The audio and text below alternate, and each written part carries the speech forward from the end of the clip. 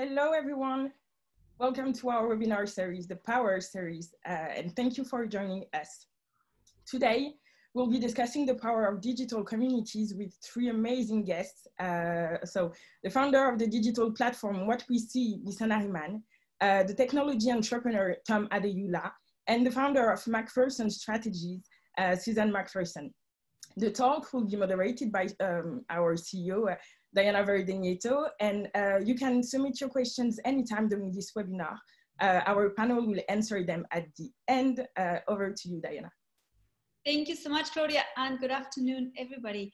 Thursdays has become my favorite day to connect with with people that I haven't seen for a while. So uh, it's great. It's my absolute honor to have you here today and uh, three incredible entrepreneurs actually. That is the common the commonality of you three and the fact that independently you have built incredibly powerful communities.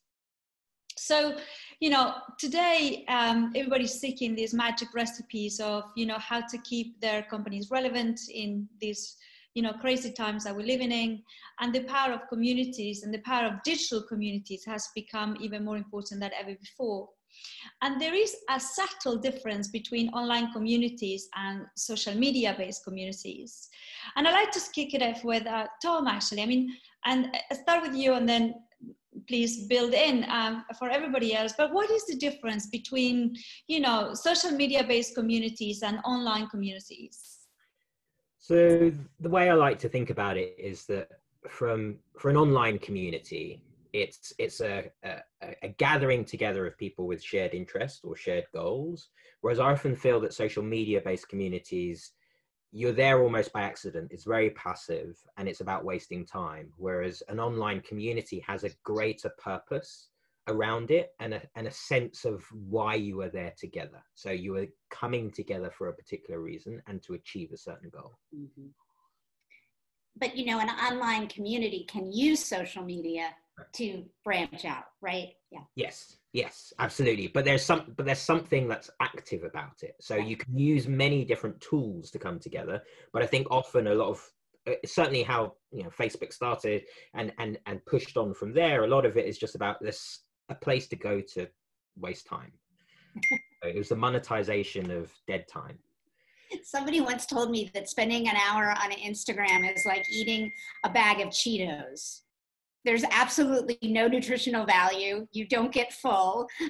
you don't feel enriched. I don't know if you have Cheetos in in London, but we do here in the states. A, a good example of um, of uh, an online community is I'm a dog owner. Uh, I have a Hungarian Vizsla, and when we first got my boy Nelson, we were a little bit lost at sea because they're quite specific breed. So we found a couple of Hungarian Vizsla groups on Facebook and very focused, as you said, Tom, with people all with the same interest, and it was it was it was amazing for us because suddenly we weren't alone, and that's what I call a, very a, a very real online community that was built on Facebook, which is actually the opposite to what people now think of Facebook as.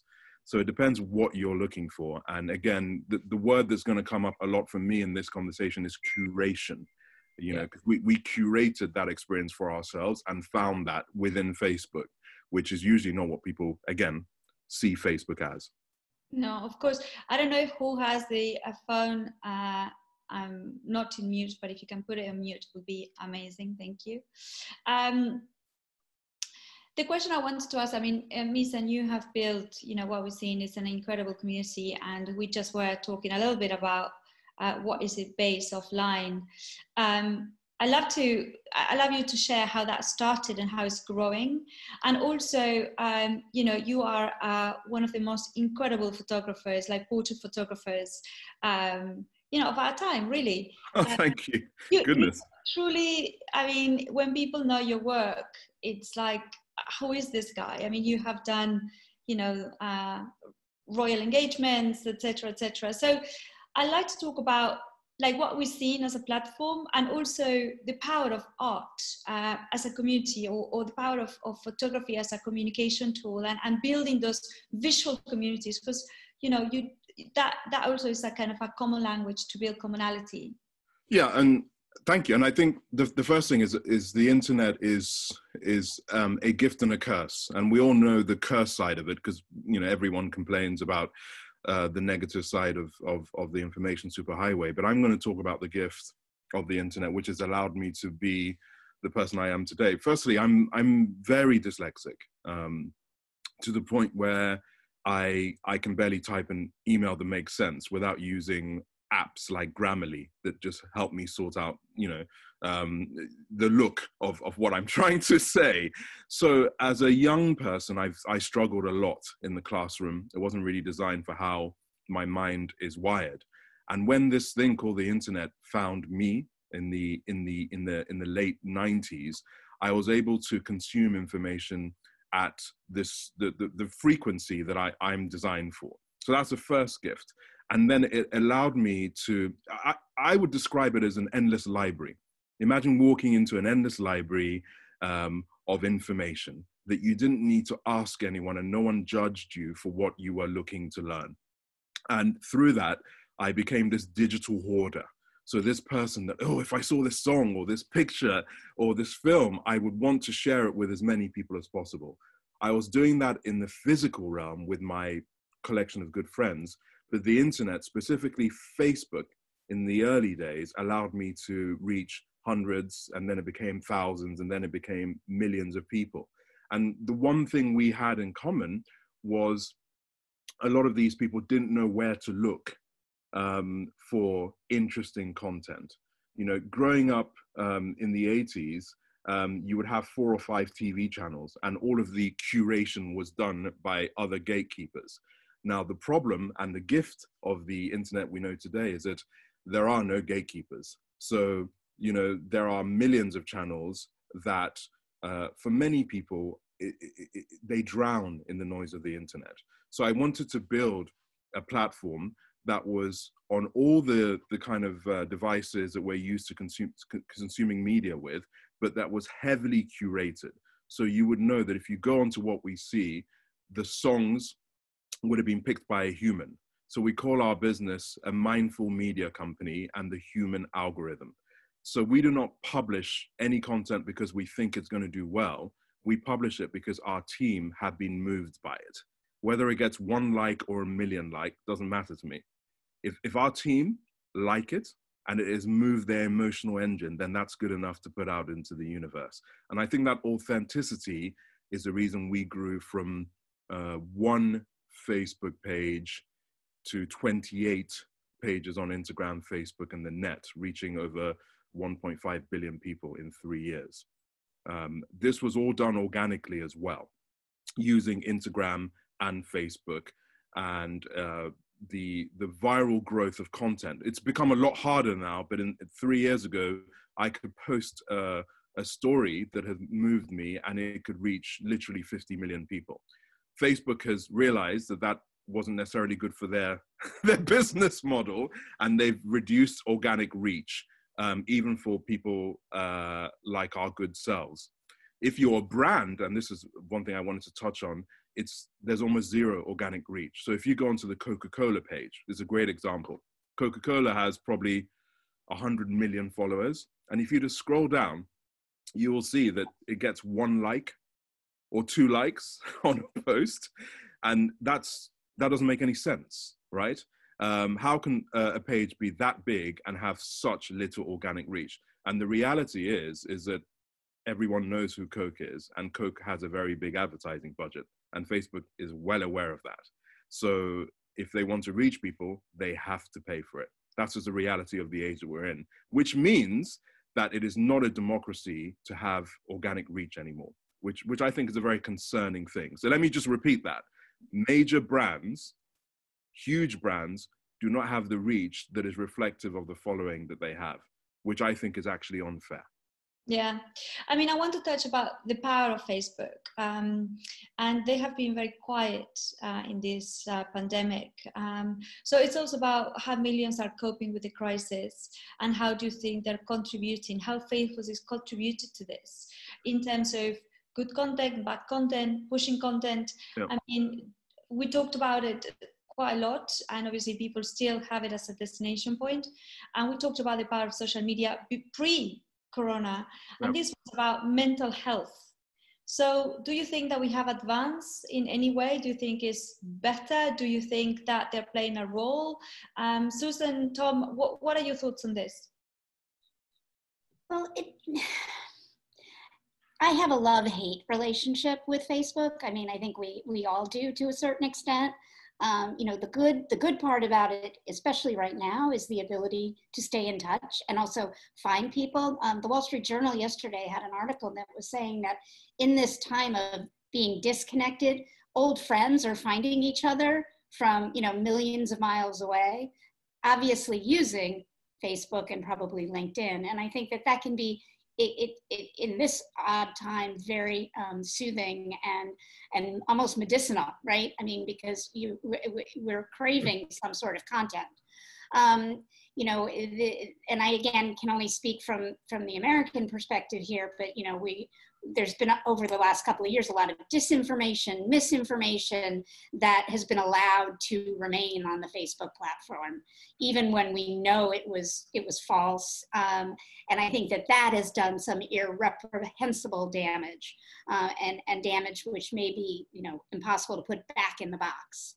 Um, so you know I see I see both sides. Um, you're right. They have, you know, you don't see a lot of commentary coming out from Mark and from Sheryl and, and the leadership at Facebook, but I, um, I do know what they are trying to do is sit back, not sit back, but allow brands, allow companies, allow uh, government officials to use it as their sounding boards, as opposed to taking um, an initiative. I mean, I, I, I think yeah, absolutely true. I mean, I think every, everything around why they're quiet now is quite political. So I think you could look at this as a, a pre 2016 Facebook and a post 2016 Facebook. Uh, pre 2016, they pretty much were absorbed in in this, you know, this notion of the Pollyanna assumption, which was that everything about Facebook was good. It was going to take society towards this utopian dream. Everyone would be able to to find each other you were your real self and therefore that would civilize communities so so they spent a lot of time talking themselves up during things like the arab spring they were they were doing a lot of active you know additional features for how people get could get in touch and they were doing lots of pr and press at that time. Then you have 2016 um, uh, you know, Trump coming to power, everything around, you know, Russian disinformation, Cambridge Analytica, so on and so forth, and huge missteps in how they they dealt with that because they just could not believe that Facebook could be used for ill as well as for good. It could, it's it's all parts of society, right? So it, it's it's a massive amplification of every type of message you want to give because I think with a platform like that, you have free access and distribution. You can make a message, you can uh, put something out there, and you can reach a lot of people quickly. So that's great when it's good, but when it's bad, that's you know really difficult. And so over the last few years, you've seen Facebook try to be very humble. They've they've taken on a lot of lobbyists from a political perspective, including our, our former deputy prime minister Nick Clegg. yeah. um, and they've had to employ an army of people. So I, I remember thinking it was interesting that Facebook could be a billion plus dollar company with 2,000 people. And you, it, it, sort of has seemed to go, have gone by a factor of 10 each time. So before that, you needed 20,000 and you needed 200,000. And then after Facebook with Instagram, etc., you needed 10 people. Um, and they only needed 2000 people until they realized that there was all this bad stuff that could happen on their platform and then they needed to hire thousands and thousands and thousands of people to to try and take the disinformation and the bad content off the platform whilst at the same time trying to think how can they solve this algorithmically so i think because they've been doing that and because they've made missteps in the past i think that's probably been driving why they haven't really put their heads above the parapet during this crisis when interestingly, I think because they are a platform, a social platform where yeah, the whole world is at home, they, mm. they are connecting people. I would have expected them to be quite vocal and quite forth at the forefront of introducing new features and new ways for people mm. to get in touch and but they haven't I, I found that really interesting. I think that all stems back to the 2016 um, Cambridge Analytica, etc. Mm. nightmare that they they went. Well, I'm, I'm going to just add something to that. I mean, I I personally run um, over a dozen Facebook pages, and I think when we talk about Facebook, we need to talk about what Facebook owns. So WhatsApp, uh, Instagram, and Facebook. And if you look at the bird's eye view, um, I'm not going to defend Facebook, but I'm going to say this. Um, the COVID updates that are automatically in the Facebook app that have been sent out on WhatsApp, that are being used by the World Health Organization on WhatsApp, um, and that are being blasted out on Instagram, that's really useful. And that's that's not any genius thing that Facebook has done. It's because they have scale, right? And that kind of scale, there is no company on earth that can reach as many people in one go. Uh, if you just think about the re- the digital real estate of Instagram, WhatsApp, and, and Facebook is out, outrageous. So that's a good thing. Um, live streaming has become a mainstay. I mean, look at what we're doing right now, right? Um, so you know, house party, Zoom, and of course Facebook Live, Instagram Live has become very powerful. And I would say that it has been helpful for people's mental health issues to be able to to watch DJ, you know, D Nice mm-hmm. go, go on Instagram and have the whole world watching him. That's a good thing. So that's that's a gift of what Facebook is. What is a problem is that imagine being a headmaster of a school with over 2 billion people that completely reflects the mirror of mankind with all our our our, our, our failings and that's where you can get issues with Facebook. One of our pages is always getting um, a lot of people comment about the fact that coronavirus isn't real. And we get this all the time. We get sent these links, and Facebook pulls them down. We we will send um, the post to Facebook, but they can never act fast enough. And I think this is what Tom was talking about. It sounds weird to say that they don't have the resources, but if you look at the scale of the problem, how many people are posting posts about 5G being the cause of coronavirus or that it was created by whatever government you know we don't need to get into all that. And that's being shared by someone. And we they don't have the um, good enough ai to pick this up every microsecond before yeah. it becomes a viral thing. And that that's that's the issue. And i'm not defending facebook. The issue is they are almost too big to be able to police themselves at the rate that we need. Yeah, and it, this takes us to a kind of a tangible, I guess, bring it back to where we are, um, which Corona is really real. and we are here for at least another three weeks, all of us. And people not, I mean, Susan, I don't know how long you've got. I mean, anything could happen in the US, but I guess the average country has for another two, three weeks of, of lockdown uh, or slowly coming out of it. It will be much longer here. You At least so? Oh, yeah, in New York let's, City. Let's not go into the US and Corona. It's just not worth it. I don't have enough. Uh, I don't have a, a, glass of vodka. I've got a cup of tea. So let's not go there. um, two weeks. Two weeks.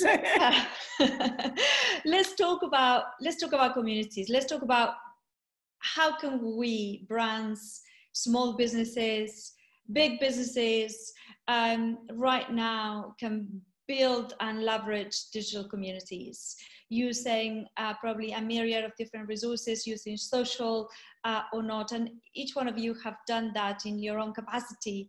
So um, which advice uh, or tips can you give uh, to small and big businesses all sizes to really kind of build digital communities? Because let's face it even if you are one of the most powerful brands digital still in its infancy. And I think we can now, after what happens uh, now, we have actually discovered that digital is still in its infancy. So you guys are pioneers on this. Which tips can you give us uh, into how to build digital communities? Um, I would start with knowing who your audience is and knowing who you want to communicate with and what are the best means to communicate with them or to them. Um, I am finding the actual use of the old telephone is making a comeback. Even among youth that you know don't even realize that their smartphone can like dial a number and you can actually you know because they're so used to facetime or you know using whatsapp or texting so um, and i digress but i think it's really understanding who your audience is and, and figuring out what are the means to stay in good contact with them. And also i my company which i founded seven years ago we have been remote since the beginning.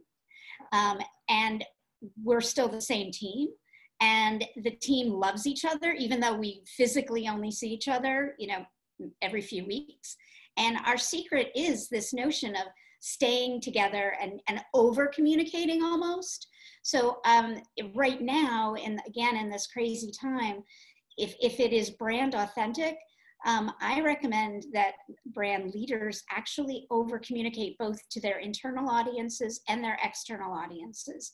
I mean, not with meaningless but actual, you know, interesting, sorry, um, but interesting, meaningful connections, but, and, and most importantly, leading with empathy and compassion. Uh, that, that, that, this is the time for that. So I, I want to, to give the floor over to my two brilliant um, co-hosts. Yeah, I would just reiterate that, like authentic messaging. So I think you've you've got to remember and spend a bit of time thinking about who your audiences are like dial up hugely on empathy. It's like what situation are your customers in right now? What what do they care about? What are the things that they're thinking about? And how do you connect into that in a real and authentic way? Everybody's at home. They're you know they're worried. They're, you know who is your customer? What sort of home do they live in? Like you know what's the the state of their mental health going to be like? Do you have a role to play in improving their their state of mind and and being able to connect with them. If you do then play up on those messages. If you don't then i think you have to think about who are the people that you will do. And i think it's almost one of those things where it's it's almost extremely dangerous to try to connect to people in an unauthentic way at a time where the message is not going to be received well. I think you could do pretty pretty huge damage. Like if i if I just think back to, so I'm a football fan, so I'm a Tottenham football fan. My uh, club was, I think, the second to say they were going to take money from the government and put a whole bunch of their staff on furlough. The fan base reacted terribly to that. And it's taken them a long while. And this is somebody who's utterly ruthless. It took him a long while to understand from his advisors and his team that if he did not reverse that decision, he would deliver long lasting impact to, to the fan base that and they would not be forgiven. So that you can make really bad judgment calls here and you have to think back down to your your customers and think what situation are they in and how can i react accordingly? I would agree with everything you've said. Um, i always say when i'm going for brand pitches um, I'm not interested in selling a product. And they, they sometimes think I'm, I'm crazy. Literally, I'll say that to the brand. I said, the consumer is smart and they're sick and tired of being bombarded with try this, buy that. Everyone has to become a storyteller. I don't care whether you are a, a plumber or a, a massive, you know, multinational luxury brand. It does not matter. You have to be a storyteller. I also remember almost a decade ago when John Lewis decided to hire Adam and Eve to do its its um, brand creative, and they they started basically making short films that have become so successful that many people consider the English Christmas hasn't started until they see a John Lewis advert. I mean, one of the earliest videos was the one uh, with the, the, the the young girl being born and then her going through the cycle of life until she was an older lady with the Billy Joel song playing. Now, no one's flogging a sofa or a mirror or anything. It is a story that we can all find a way of connecting to. And it's, it has been hugely successful. So I think every everyone that's starting any kind of business has to remember that you have to be a storyteller, a genuine why and what you're about, rather than this is the product and I would like you to buy it. Is that that those that those is over? You know that kind of TV advert style. For me, I think the consumer doesn't want to see that. If they want to spend money, they will. They, there's so many different ways to get to that wallet than you telling them to spend the money. and this is a really good time to basically experiment with storytelling because people aren't buying products, right? So if if if you're not going out, you're not going to be looking to buy a new dress because you haven't got anything to go out for. So now is a really good time to experiment with how you deliver that storytelling and how you connect with the consumer during this moment so that when the consumer is ready to go out and start spending again, they're going to spend it with you because you've mm-hmm. been with them through the dark times. No. Yeah. I do, I do sorry to interrupt, I do agree with you. And I, I wonder, I mean, sometimes um, about how companies spend all this money creating more and more noise. Because when you have the authenticity in your DNA, um, of course, you, the stories are within your communities, within your employees, within your actions. And of course, you have the products, etc. But a lot of the stuff lies in the authenticity of the business and the purpose of the business and so on. And I really do hope that one of the things, or maybe two of the things that come out of these you know, kind of crazy times are first and foremost, we are not consumers. I am not a consumer. I'm so much more than that. I'm a storyteller. Uh, I've got my choices, I've got my opinions, and I am a fan of the brand. And I really dislike uh, to be just put in the box of being a consumer. I think for the last four weeks, none, nobody has been. I don't think nobody, but a lot of people has not been a consumer and I think the second point of this is the fact that um, I think hopefully when we come out of this, the whole area of purpose, authenticity, sustainability is not something that it will be compromised because I think we need this so badly in order to actually probably I think alter the course of where we're going as a as a human race. Um, I don't know what your opinion is, but love your opinion on this, and then uh, your wise uh, kind of closing remarks before we jump to Q and A's. Um, I, I, mean, I do you want to kick it off, actually, Tom? Yeah. Yeah. All I was going to say is I, I think this period has been quite interesting in in the sense of it. It's felt like lots of people have been reconnected to their own local communities, like mm-hmm. the sense of like you know the, the, shops around the corner how are they doing how are they suffering through this how can i support them how can i make sure i get fruit and veg from somebody you know local and i think th- that sense of your neighbor and locality and community and that sort of reconnection has definitely happened or it feels like it's happening in some way because everybody's been restricted to place so therefore your your mind is restricted it's like i where i live i can sort of just about see and feel what's happening here but i have no idea what's happening in Birmingham. I have no idea what's happening in Doncaster. So, almost in some respects, my worldview has shrunk and grown at the same time. So, the whole world is in shutdown. So, you hear about everything and where it's happening in the world and what are the death rates and mortality rates. And it, everything feels so global, but also feels extraordinarily local and small and real and human. So. Um, and, and what you're saying is reflected very much in the um, resurgence of local news. Um, local news, at least in the United States, has been, you know, local newspapers have disappeared.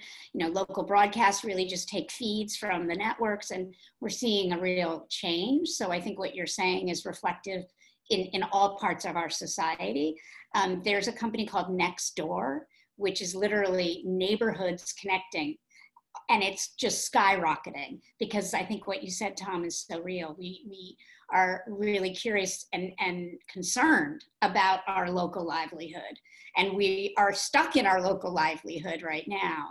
But I, I want to echo what Diana stated about um, I, that I do believe, and I agree with you 100%, that this is going to make empathy and and and um, and purpose even more central than it was before. I mean, we've seen us getting there, and certainly positive luxury is is is you know uh, echoing that in everything it does. But th- there's no going back. I mean, companies are going to have to put employees first. They're going to have to put the communities they operate in first and foremost. And all of us who consume from these companies and brands are going to be pushing companies to be that way. Mm, no, I agree. Misan, it's um it's a reset for all of us. Um, I don't think anyone was prepared for this, um, including the uh, governments uh, that are supposed to look after us, uh, the brands that we thought we knew, and the communities that we live in. All of us were. It was just a, it just hit brick wall, hit hit hit us all. And I, in a way, I like the fact that it happened that way, because that's when we are forced to really question how we shop, um, how we do business, how we look after our family, um, and also think about um, the mental health implications of all of this as well. Mm-hmm. So many people who um, I always thought were, you know, just doing really well in all aspects of their lives. I've had some incredible um, conversations with over WhatsApp, video, you know, FaceTime, and they're like, "Look, I'm scared, Misan. I, I, don't, I don't know how else to say it, but I'm scared of what the future holds, and that is fear for their professional aspirations, fear for their family, and it's that level of fear that brings the importance of empathy. Because the moment I told my friend that I was feeling exactly the same way as him, um, it, it made him realize that this is what everyone is going through.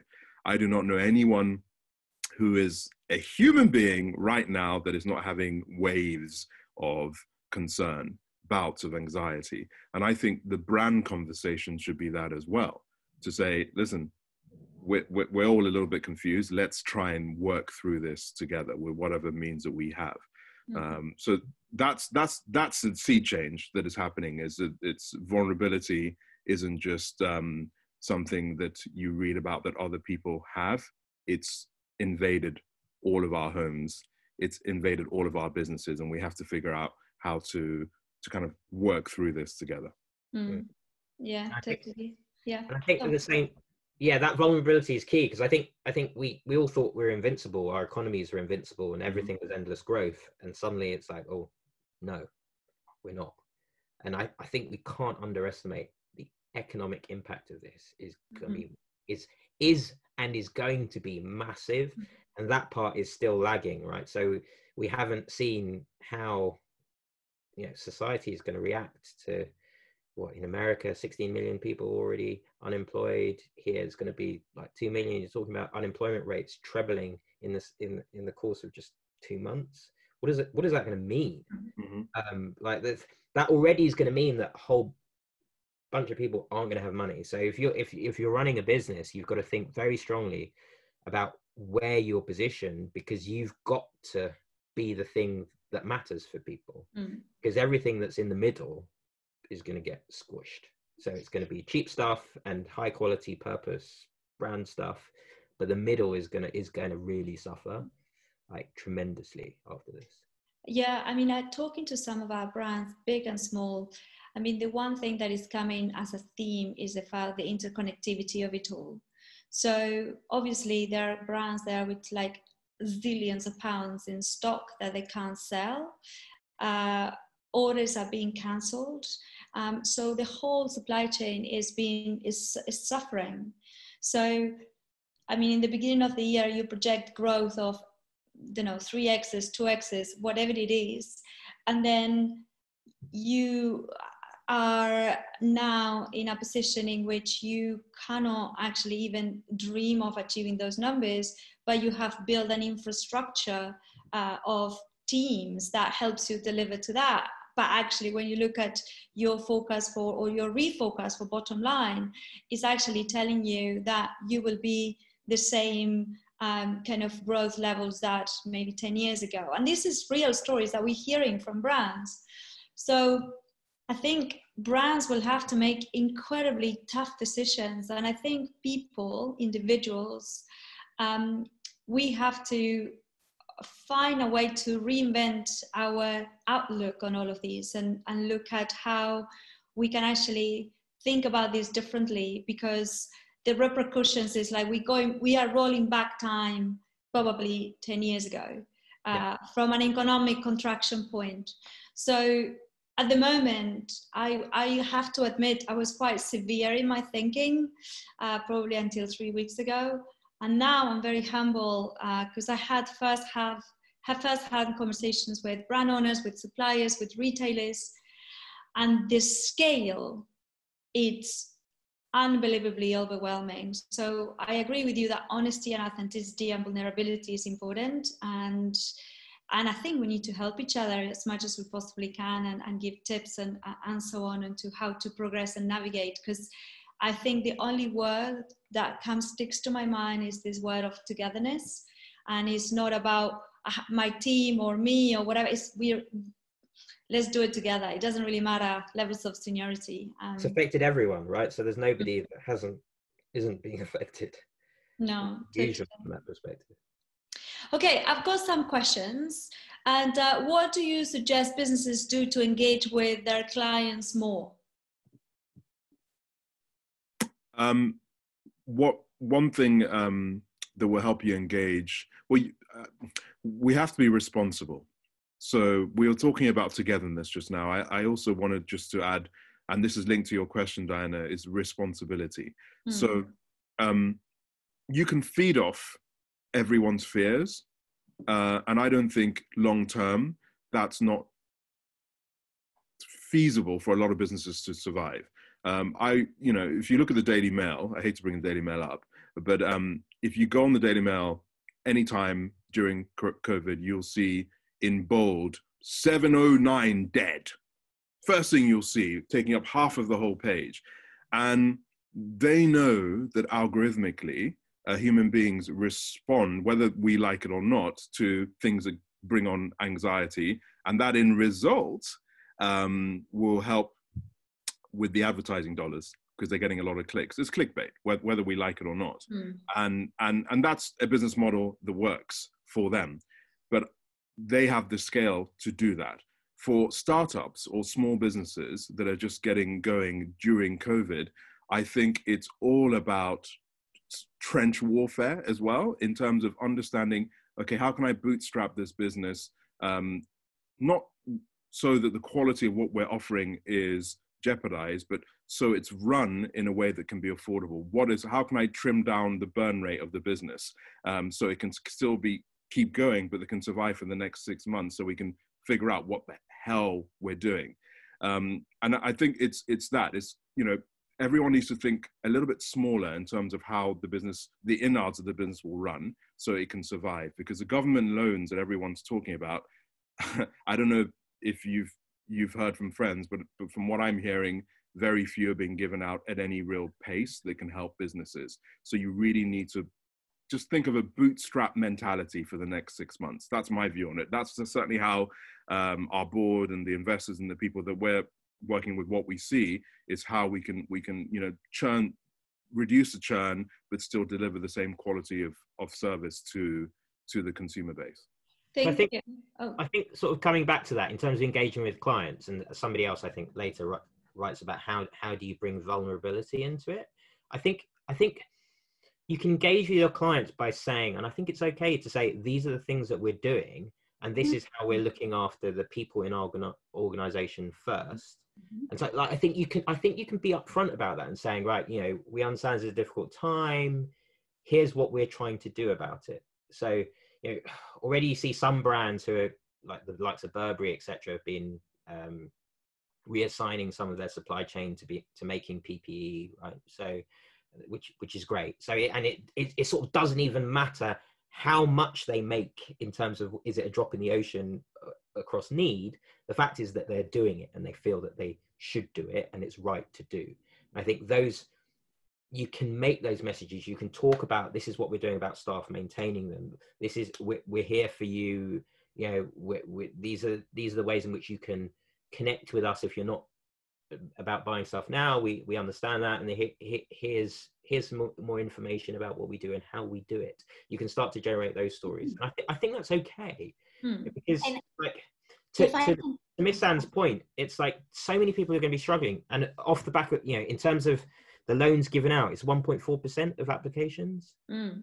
It's rubbish. Like, Yeah.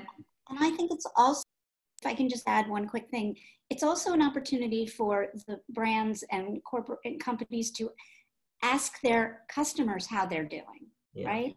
And it, this may not be the time to talk all about you, but give them a mouthpiece, give them an opportunity to share their fears or their concerns or their hopes and dreams and listen. Uh, and when you hear saying, you can be putting that into future use for where your company is going. Yeah. Hmm. That is I mean, really important. That I think that's massively important. I think so. There are so many brands who who have a view of who their customer are, and when you talk to them, you say, "You think your customer is that? That's not what I see when, when I see people wearing your clothes. That that's not your customer." No. So I think, yeah, absolutely reconnecting with who are you? And like what do you want? And what do you need? And what do you care about? is prime. May i ask we kind of i mean i can talk to you all day pretty much but we're kind of running out of time. In the bottom of your screens you have a q&a um, box and if you can answer the questions um, uh, the three of you will be much appreciated so uh, if you click the q&a you can see so uh, the, everybody actually can can see that the questions has been answered um, and if you can mute your microphones and stay on online, um, answering the questions will be much appreciated. I just want to say thank you um, for taking the time, for sharing your thoughts, for your optimism. And uh, yeah, um, just thank you so much for, for being here. So um, uh, thank you also for sharing the, the, the questions. Over to Claudia. Thank you. Thank you all. Thank you, Misan. Thank you. Uh, Suzanne, thank you, Tom, for sharing your knowledge with us today and your opinion. Thank you all for joining. So we have a question for next week, and I will answer this question. Next week, we'll have two webinars. One on Wednesday for Earth Day, uh, and we'll be discussing the power of circularity with four special guests at 2 p.m. So Wednesday, the 22nd of April at 2 p.m., the power of circularity. And on Friday, we'll have another webinar. We'll be discussing the um, how businesses can plan for success, uh, both during and after the pandemic, with Rain Newton-Smith, uh, the chief economist at the CBI. Um, and it will be on Friday, 10 a.m., um, 10 a.m., yes. Uh, you can sign up to our newsletter now to reserve your spot. Uh, and if you have any questions, just email us at uh, marketing at positiveluxury.com. We are more than happy to uh, answer your question. stay safe. Thank you all for joining.